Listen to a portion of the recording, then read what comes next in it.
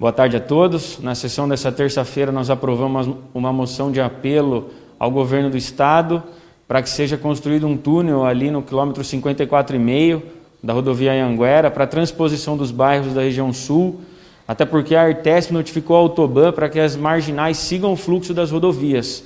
E aí a gente vai perder uma saída ali, do, a saída que nós temos no bairro, nós vamos ter a obrigatoriedade de sair ou pelo viaduto 9 de julho ou pelo quartel.